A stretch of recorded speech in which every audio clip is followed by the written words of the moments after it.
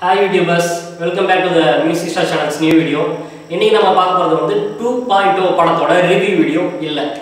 இது review video இல்லை என்னோட த்ரீ டி மூவி எக்ஸ்பீரியன்ஸ் தான் நான் வந்து ஷேர் பண்ணிக்க போகிறேன் ஸோ இது ரிவ்யூ வீடியோ இல்லையே நான் போகிறேன் அப்படின்ற வந்து போகலாம் பட் நான் இப்போ வேற என்ன பேச போகிறேன் அப்படின்னா வந்து யூடியூப்பில் மூவி ரிவ்யூ கொடுக்குறவங்கள பற்றியும் அப்புறம் பைரசி சப்போர்ட்டர்ஸை பற்றியும் டூ பாயிண்ட் டூ படத்தோட வேல்யூ பற்றியும் தான் நான் சொல்ல போகிறேன் கடைசியாக என்னோட நெக்ஸ்ட் பிளான்ஸ் எல்லாம் என்னன்றதையும் நான் வந்து சொல்கிறேன் ஓகே என்னோட போன வீடியோவில் சொல்லியிருந்தேன் நான். கண்டினியூஸாக என்னால் சில படத்துக்கு ரிவ்யூ சொல்ல முடியல அப்படின்னு சொல்லி காரணம் சொல்லியிருந்தேன். யூடியூப்ல ரிவ்யூ பண்ணுறவங்க எல்லாமே பார்த்தா கண்டினியூஸாக வர மூவிஸ் எல்லாம் பார்த்துட்டே இருப்பாங்க அப்டேட்டடாக கொடுத்துட்டே இருப்பாங்க இன்ஃபர்மேஷன்ஸ் எல்லாம். பட் அந்த மாதிரி கொடுக்கணும் என்னால் கொடுக்க முடியல. என்னன்னா பர்சனலான விஷயங்களுக்காக வெளியூர் போக வேண்டியது ஸோ பண்ண முடியல. கண்டினியூவாக எங்கிட்ட பண்ண முடியல என்னால். இப்போ கூட அவுட்டோரில் வந்து இப்படி ஷூட் பண்ண வேண்டிய ஒரு நிலைமையில தான் இருக்கேன்.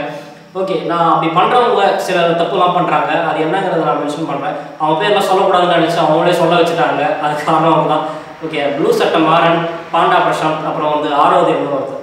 ஓகே இந்த பாண்டா பிரசாந்தை பற்றி ஃபஸ்ட்டு சொல்லிடுறேன். மூவிஸ்க்கெல்லாம் ஒரு பாசிட்டிவான விஷயமா தான் சொல்லி சொல்லுவான் ஆனாலும் வந்து ஓவர் பில்டப் கொடுத்து சில விஷயங்கள் சொல்கிறப்போ என்னென்னா எக்ஸ்பெக்டேஷன்ஸ் இன்னும் கூடும். ஆல்ரெடி நம்ம படங்கள்லாம் பார்த்தோம்னா இந்த டீசர் ட்ரெய்லர் ஃபர்ஸ்ட் லுக்கு இப்படி நிறைய விஷயங்கள்லாம் அந்த ப்ரமோட்காக வந்து ப்ரெஸ் மீட் வைக்கிறது டிவியில் அட்வர்டைஸ்மெண்ட்ஸ் யூடியூப் ஓப்பன் பண்ண அதில் அட்வர்டைஸ்மெண்ட்ஸ் அவங்களே வந்து நமக்கு எக்ஸ்பெக்டேஷன் கொடுத்துறாங்க. அதுவும் இல்லாமல் சேனல்ஸில் வந்து இன்னும் ஹைப் பண்ணுற மாதிரி சில விஷயங்களை சேர்த்துட்டே வராங்க. அது படங்கள் இல்லைன்னா வந்து நம்மளுக்கு கஷ்டமாக போயிடும். ஸோ அந்த அளவுக்கும் கொடுக்கக்கூடாது. ஒரு ஆவரேஜான லெவல்லே கொண்டு போன ரிவ்யூக்குள்ளே அந்த தப்பு வந்து பண ஆப்ஷன் பண்ணுறாங்க ஸோ நெக்ஸ்ட் வந்து நம்ம ப்ளூ சட்டமானோட இது பற்றி சொல்லலாம். அவர் என்னன்னா வந்து எல்லா படத்தையும் கலாச்சிட்டு பண்ணி பண்ணிட்டு பண்ணிருப்பாரு இந்த படத்துக்கு என்ன பண்ணி எனக்கு காண்டாச்சு அப்படின்னா இந்த படம் வந்து ஒரு பேய் படம் தான் மொத்தத்தில். இது வந்து லாரன்ஸ் கிட்ட கொடுத்துருந்தாலே மயமா எடுத்துருவாரு அப்படின்லாம் சொன்னார். லாரன்ஸ் படமும் நான் பார்த்துட்டு தான் இருப்பேன் எனக்கு நல்லாவே தெரியும். ஓகே அதுக்கப்புறம் இன்னொன்று சொல்லியிருந்தாரு என்னன்னா அதுக்கு வந்து இந்த படத்தில் யார் ஹீரோனே தெரியல யார் வில்லனே தெரியல அப்படின்னு கதை உங்களுக்கு புரியலை உங்களுக்கு மொத்த படத்தில் இருக்க கண்டென்ட்டே புரியலை அப்படின்னா ரிவ்யூவே சொல்லாதீங்க.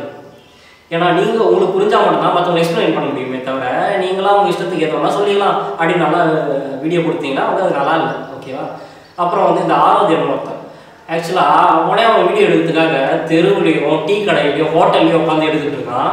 இவன் வந்து இந்த ஹை பட்ஜெட் ஃபிலிமை வந்து கலாய்ச்சி வீடியோ வரான் ஃபர்ஸ்ட் உன் வீடியோ ஒழுங்காக எடு. அப்புறம் வந்து நீ மற்றவங்களை கலாய்க்கலாம். ஓகேவா இது மாதிரி நிறைய ரிவ்யூ சொல்கிறவங்களுக்கெல்லாம் மொத்தமாக சொல்கிறேன் நீங்கள் படம் பார்க்குறீங்கன்னா அடுத்த வந்து ஆடியன்ஸ் வந்து படம் பார்க்க தூண்டுற அளவுக்கு தான் நீங்கள் விஷயத்த சொல்லணுமே தவிர அதை குறையாகவும் சொல்லக்கூடாது அதிகப்படுத்தி சொல்லணும் நம்ம அந்த காலத்துலேருந்தே வந்து இந்த திரை விமர்சனம் அப்புறம் பேப்பர்ல எல்லாம் கூட வந்து படத்துக்கான ஒரு சின்ன விமர்சனம்லாம் கொடுத்து போட்டிருப்பாங்க.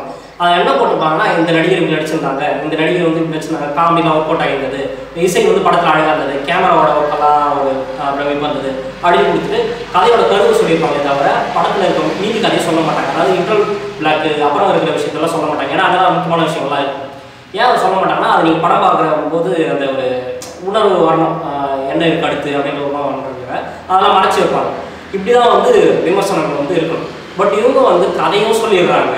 அதில் இருக்க குறையும் சொல்லிடுறாங்க. எல்லாத்தையுமே சொல்லிட்டா நாங்கள் எதுக்கு இருக்கோம்?